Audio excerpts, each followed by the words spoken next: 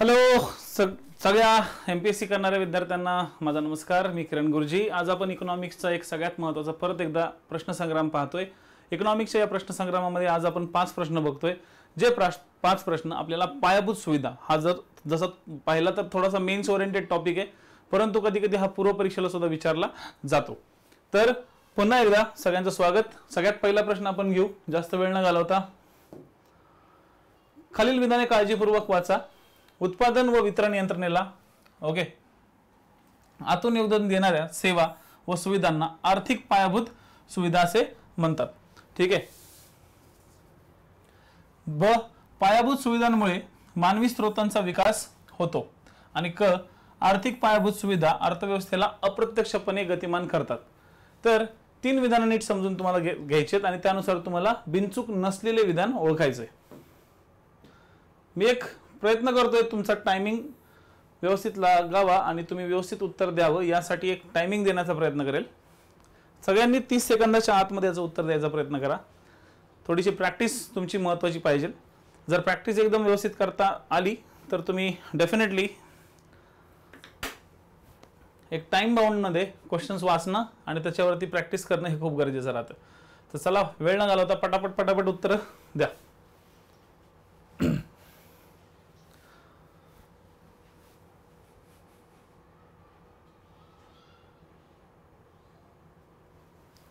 Okay.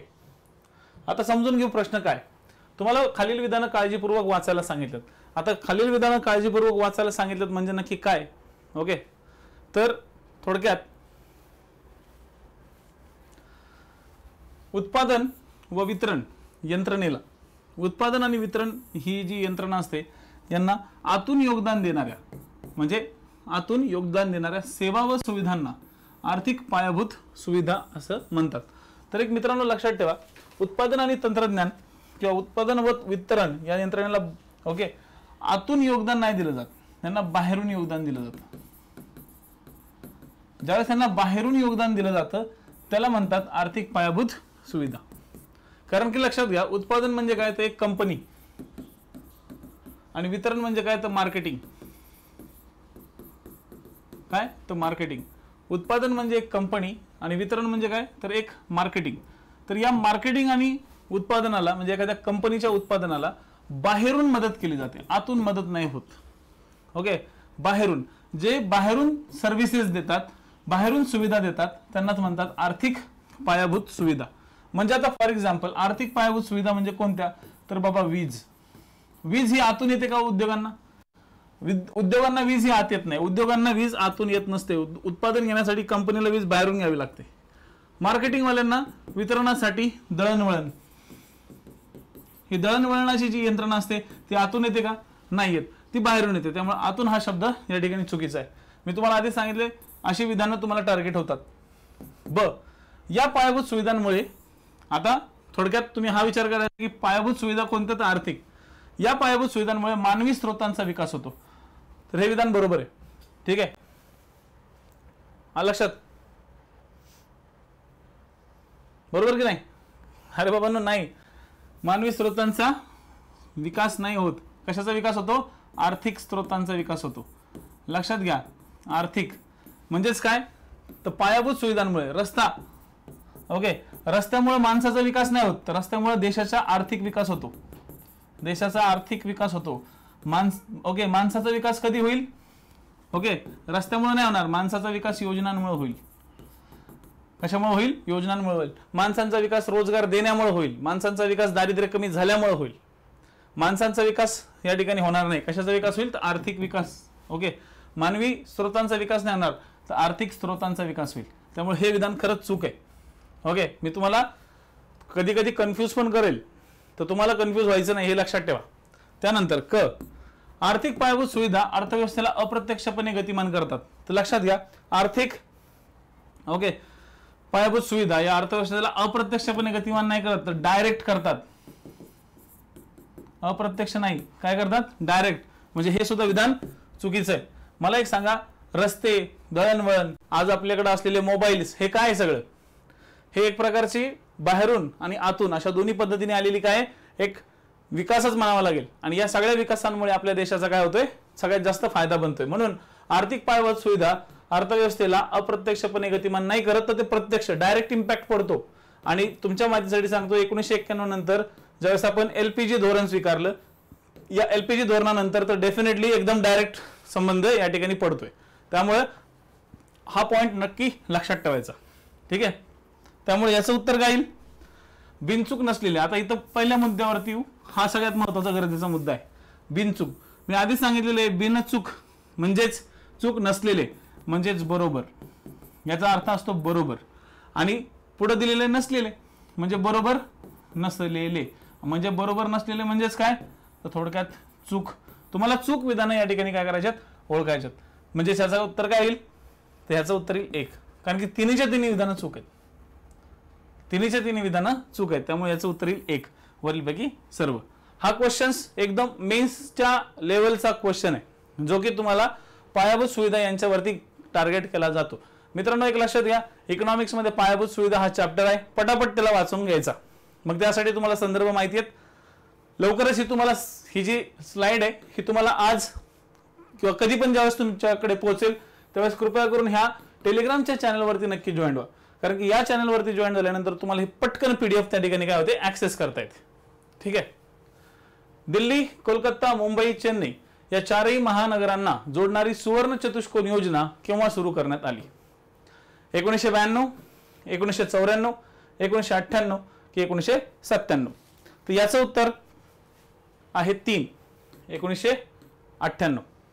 लक्षात घ्या स्वातंत्र्यानंतर सगळ्यात मोठी ओके स्वातंत्र्यानंतर जर सर्वात मोठा प्रकल्प जर कुठला असेल तर सर्वात मोठा प्रकल्प म्हणजे सुवर्ण चतुष्कोन ठीक आहे?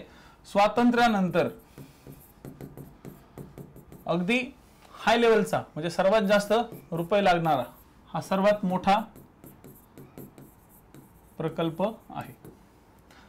या प्रकल्पामध्ये लिटरली तुम्हाला एक गोष्ट क्लिअर करेल की आपल्या दिल्ली मुंबई चेन्नई आणि कोलकाता या चार देश या चार महानगरांना जॉईंट करण्याचा या ठिकाणी काय आहे? एक प्रयत्न आहे की ज्यामध्ये चार पदरी सहा पदरी एक हायवे म्हणजे त्याला आपण म्हणू महाराजमार्ग ओके किंवा महामार्ग तयार करण्यात यावा. एक महामार्ग निर्माण व्हावा यासाठी अटल बिहारी वाजपेयींच्या काळात एकोणीसशे अठ्ठ्याण्णवला या प्रकल्पावरती आपण काय केली? मुहूर्तमेढ रोवली. एकोणीसशे अठ्ठ्याण्णवपासून आतापर्यंत या प्रकल्पाचं जवळपास बरचसं मोठं काम झालेलं आहे. हा प्रकल्प सात टप्प्यांमध्ये वापर पूर्ण केला जाणार आहे. किती? सात टप्पे. सात टप्पे. जवळपास ही योजना लवकरच अंमलबजावणीचा प्रयत्न केला जाणार आहे. आणि दुसरी महत्वाची गोष्ट की अंमलबजावणी कोण करते? यावरती क्वेश्चन विचारला गेलेला आहे. की सुवर्ण चतुष्कोन या योजनेची अंमलबजावणी कोण करतं? तर ती करते भारतीय राष्ट्रीय महामार्ग प्राधिकरण. National highway authority of India. याची एकूण लांबी आहे पाच हजार आठशे सेहेचाळीस किलोमीटर. पाच हजार आठशे सेहेचाळीस किलोमीटर. तर हे लक्षात घ्या. याच्यातील दिल्ली टू मुंबई आणि मुंबई टू चेन्नई हा भाग म्हणजे national highway number forty eight आपल्या महाराष्ट्रातून गेलेला आहे. ठीक आहे? National highway number forty eight. तर ह्या बेसिक गोष्टी लक्षात ठेवा. आय होप सो तुम्हाला याचा जास्तीत जास्त फायदा होईल. त्यानंतर पुढच्या क्वेश्चन्सकडे वळू. पुढचा क्वेश्चन्स खूप महत्त्वाचा आहे. म्हणजे या प्रश्नातून तुम्हाला काय संकल्पना मिळाली? तर सुवर्ण चतुष्कोन मित्रांनो ह्या सगळ्या संकल्पना तुम्हाला तुमच्या नोटबुकवरती लिहून ठेवायच्यात. आणि ज्यावेळेस तुम्ही पुस्तकं रीड कराल किंवा हे प्रश्न ज्यावेळेस तुम्ही सोडवाल त्यावेळेस कृपया करून तुमच्या पुस्तकांमध्ये हे पॉईंट शोधायचा प्रयत्न करा. म्हणजे त्यांच्याकडून किंवा त्या पुस्तकामधून तुम्ही नोट्स काढाल.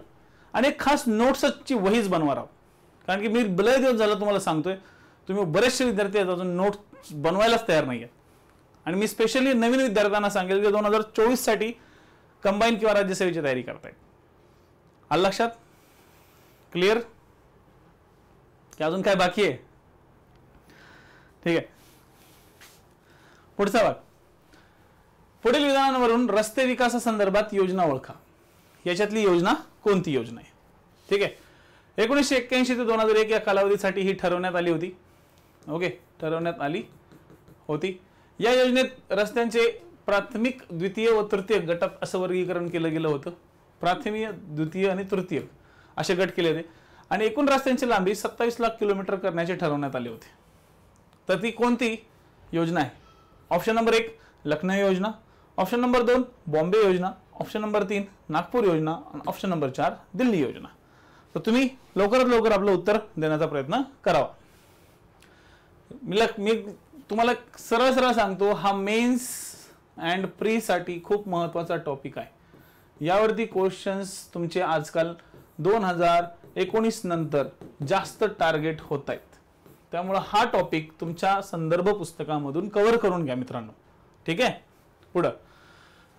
यावरनं तुम्हाला एक लक्षात येईल की योजना जी आहे ही योजना आहे पहिली लखनौ योजना. याचं उत्तर काय? लखनौ योजना. लग्न योजना कधी सुरू झाली तर हे तुम्हाला वरच्याच भाग एक मध्ये दिसेल. एकोणीसशे एक्क्याऐंशी ते दोन हजार एक. आता याच्यातली दिल्ली योजना काही कामाची नाही कारण की ती फेक आहे. म्हणजे मी ती जस्ट अशीच दिलेली आहे. ओके ती महत्वाची नाही मग मुद्दा येतो की बॉम्बे योजना आणि नागपूर योजना कधी? तर नागपूर योजना ही सगळ्यात जुनी योजना म्हणून ओळखली जाते. साधारणतः रस्त्यांचा विकास करण्यासाठी सुरुवातीला सरकारला वीस वर्षाचा एक प्लॅन बनवावा लागायचा. वीस वर्षाचा प्लॅन म्हणजे विचार करा त्या काळामध्ये रस्त्याचा विकास जर करायचा म्हणला तर वीस वर्ष वाट बघा लागायची. ओके एवढा जुन्या काळात तो तो रस्त्याचा विकास व्हायचा. आणि सरकार लक्ष द्यायचं. सरकारच रस्ते बनवायचे. त्याच्यामुळे काय व्हायचं की सरकारचं काम आहे तुम्हाला माहिती आहे लेट लथीफ काम येते. ओके एक नंबरचं लेट लथीफ काम म्हणजे सरकारचं काम. मग ह्या सरकारचं काम लेट असतं मग हे फास्ट आणि जलद व्हावं यासाठीच मग BOT build operate and transfer BOT या तत्वाचा वापर सुरू झाला. ओके या तत्वाचा वापर हा एल पी जी मॉडेल एकोणीसशे एक्क्याण्णव नंतर जरा जास्त प्रमाणात वाढला. आणि आज हे तत्व आपल्या भारतात सगळीकडे national highway authority of India he N H A I ही मस्तपैकी वापरते पण आता मुद्दा इथं आपल्याला योजनांचा भाग बघायचा आहे. तर नागपूर योजना ही एकदम जुनी आहे. ही साधारणतः एकोणीसशे त्रेचाळीस. ओके एकोणीसशे त्रेचाळीस ते त्रेसष्ट या काळामध्ये होते. म्हणजे ज्यावेळेस भारत स्वतंत्र होत होता किंवा होण्याच्या आधीपासून तर भारताच्या स्वातंत्र्यानंतर तर तिसऱ्या पंचवार्षिक योजनेपर्यंत ही योजना चालू होती. त्यालाच म्हणलं जातं नागपूर योजना. त्यानंतर जी योजना आली ती कोणती योजना होती? तर बॉम्बे योजना. बॉम्बे योजना जी होती ती nineteen sixty one two eighty one या काळात होती. Okay? Nineteen sixty one two eighty one. आणि त्यानंतर ओके? राष्ट्रीय महामार्ग विकास प्राधिकरण सुरू झालं एकोणीसशे नव्याण्णवच्या काळात. एकोणीसशे नव्याण्णवच्या काळात नॅशनल काय? राष्ट्रीय महामार्ग विकास प्राधिकरण स्टार्ट झालं. आणि हे प्राधिकरण एकोणीसशे नव्याण्णव सुरू झाल्यानंतर मग सगळे र- सगळ्याचे रस्त्यांचे जेवढे काही भानगडी त्या सगळ्याचे सगळे भानगडी हे स्वतः हँडल करायला लागले. मग ह्या सगळ्या योजना बंद पडल्या. पण ही लखनौ योजना बॉम्बे योजना आणि नागपूर योजना या तीन योजना रस्त्यांच्या बाबतीत महत्त्वाच्या आहेत. तर यांचे वर्ष कुठेतरी बाजूला लिहून ठेवा जेणेकरून तुम्हाला फायदा होईल. ठीक आहे? त्यानंतरचा पुढचा प्रश्न आपण बघू. टिंबटिंबमध्ये उत्तर व उत्तर पूर्व सीमेच्या भागात राजकीय संरक्षणाच्या दृष्टीने सीमा रस्ते संघटना ओके म्हणजेच border road organisation B R O स्थापन करण्यात आली. याचा ऑप्शन आहे एकोणीसशे सत्तेचाळीस एकोणीसशे चोपन्न एकोणीसशे साठ की एकोणीसशे चौसष्ट. B R O border road organisation स्थापन करण्यात आलं होतं. व्हेरी गुड तर याचंच उत्तर आहे साधी सिंपल तीन म्हणजेच एकोणीसशे साठ. ठीक आहे? बॉर्डर रोड ऑर्गनायझेशन हा खास तयार केला गेला होता आपल्या हिमालयातील किंवा ईशान्य भारतातील ओके? भागामधील जे डोंगराळ प्रदेश आहे म्हणजे हिमालयाचा पट्टा शिवालिकचा पट्टा मध्य हिमालयाचा पट्टा या भागामधल्या दूरदुर्गम एरियामध्ये रस्ते तयार करण्यासाठी. तर ही बी आर ओ या ठिकाणी रस्ते निर्माण करणे रस्त्यांची डागडुजी करणे आणि रस्त्यांचं मेंटेनन्स करणे ही सगळी कामं बी आर ओच्या अंतर्गत केली जातात. ओके? खूप जबरदस्त ऑर्गनायझेशन आहे. आणि ही ऑर्गनायझेशन आपल्या भारत सरकारची आहे. हे विशेष. ठीक आहे? पुढचा भाग. यानं म्हणजे याच्यामुळे आपल्याला एकोणीसशे बासष्टमध्ये जे चायना बरोबर वॉर झालं होतं त्यानंतर एकोणीसशे नव्याण्णवमध्ये जे कारगिलमध्ये वॉर झालं होतं या भागामध्ये किंवा या काळामध्ये या बी आर ओनं खूप उत्स्फूर्तपणे आपल्याला किंवा खूप मदत झालेली आहे ओची म्हणजे हे आपण जे दूरदृष्टी ठेवली होती एकोणीसशे साठला ती खूप इम्पॉर्टंट ठरली. भारतीय राष्ट्रीय राज्यमार्ग प्राधिकरणाची स्थापना केव्हा झाली? ओके? भारतीय राष्ट्रीय राजमार्ग. ठीक आहे? भारतीय राष्ट्रीय राजमार्ग प्राधिकरण. लक्षात घ्या राजमार्ग प्राधिकरण आहे. ओके? कोणत्या वर्षी करण्यात आली? एकोणीसशे सत्याहत्तर एकोणीसशे अठ्ठ्याऐंशी एकोणीसशे अठ्ठ्याण्णव की एकोणीसशे ब्याण्णव? तर याचं उत्तर आहे. व्हेरी गुड ह्याचं उत्तर आहे एकोणीसशे अठ्ठ्याऐंशी. त्यांनी नाईन्टीन एटी नाईनमध्ये कामाला सुरुवात केली. ओके कामाला सुरुवात केली. परंतु हे काम नंतर एकोणीसशे नव्याण्णवच्या काळामध्ये नॅशनल हायवे ऑथॉरिटी ऑफ इंडियाला जास्तीत जास्त देण्याचा प्रयत्न केला गेलेला आहे. परंतु राजमार्ग प्राधिकरण मात्र नाईन्टीन एटी नाईनच्या काळात स्टार्ट झालं आणि एकोणीसशे अठ्ठ्याऐंशीला म्हणजे नाईन्टीन एटी एटला त्याची स्थापना झाली हे लक्षात ठेवायचं. तर हा होता तुमचा अर्थशास्त्राचा महाप्रश्न संग्राम असेच महाप्रश्न संग्राम या ठिकाणी जॉईन करण्यासाठी या चॅनलला नक्की सबस्क्राईब करा. आणि आपल्या मित्रांपर्यंत किंवा आपल्या व्हॉट्सअप ग्रुपपर्यंत हे चॅनल्स किंवा माझा जो प्रयत्न आहे तो अगदी महाराष्ट्रात तयारी करणाऱ्या स्पर्धा परीक्षेच्या अगदी गोरगरीब पोरांपर्यंत पोहोचवायचा प्रयत्न करा. जेणेकरून त्या मुलाला चांगल्या पद्धतीचा सराव चांगला करता येईल. आणि त्या सरावाच्या लायक असे प्रश्न पण भेटतील. लवकरच पुढचं लेक्चर्स आपण पाहू. धन्यवाद. जय हिंद जय महाराष्ट्र.